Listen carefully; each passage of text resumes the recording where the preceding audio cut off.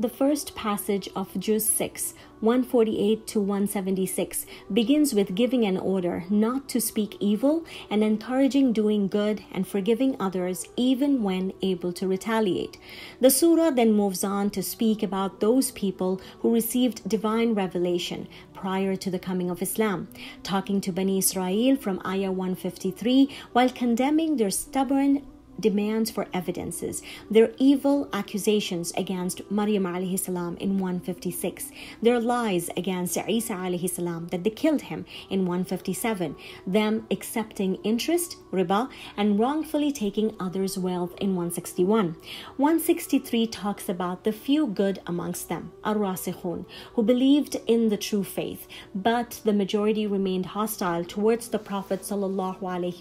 and his message. 170 21 onwards is a confrontation with the Nasara regarding their false claim of God having a son or angels to be the children of God or his partners. Concluding this passage, the surah makes a general call to humanity to accept the final message, which is a condition to remain on the straight path. Ending Surah Nisa with a discussion on the topic of inheritance regarding Kalala, a person who does not leave behind any direct heirs in Ayah 176. The next passage that starts at the beginning of Surah Ma'idah opens with a clear command to fulfill the contracts, be it with Allah subhanahu wa ta'ala or agreements with each other, continuing with legislation of what is halal and haram, the rulings of hunting, what is permissible in marriage, followed by details of wudu and salah in verse 6. Then reminding Muslims that part of their obligation towards Allah subhanahu wa ta'ala is also to deal with all people with justice and tolerance in verse 11. In 12 and 14, we find the reference to the covenant that Allah subhanahu wa ta'ala took from both Bani Israel and Nasara and how both parties violated that contract. 20 to 26 lists the numerous favors that were granted to Bani Israel, but despite that, they remained ungrateful and therefore were punished by being left to wander in the valley of Tih for 40 years,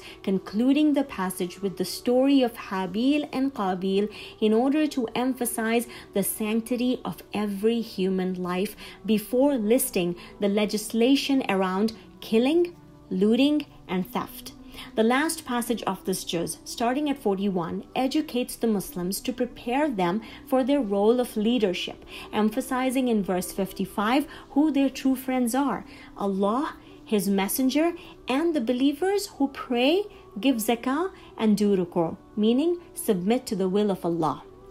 57 prohibits Muslims from making friendships with people who mock their faith, giving one such example in verse 64, where the Yahud, when they are told to give charity, they respond by saying, God is poor, we are rich taking back the discussion to the corrupt beliefs of the Nasara, refuting them in 75, saying that Isa alayhi salam is only a messenger. The last ayah in the Juz, verse 82, highlights the quality that many a times keeps people from coming to the straight path, the trait of arrogance.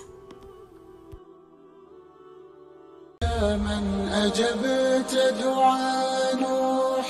فانتصر وحملته في فلكك المشحون. يا من أحال النار حول خليله روحا وريحانا بقولك كون